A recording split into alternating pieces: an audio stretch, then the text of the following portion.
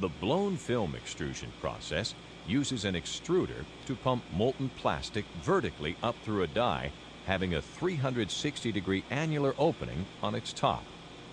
This produces a tubular film extrusion, which is subsequently filled with air.